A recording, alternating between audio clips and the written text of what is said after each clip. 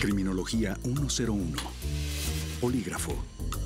A este detector de mentiras le basta una subida en la frecuencia cardíaca o un cambio en la respiración para delatar a un sospechoso. Las claves para vencerlo, mantenerse calmados y relajados. Esto según el testimonio de espías que superaron la prueba.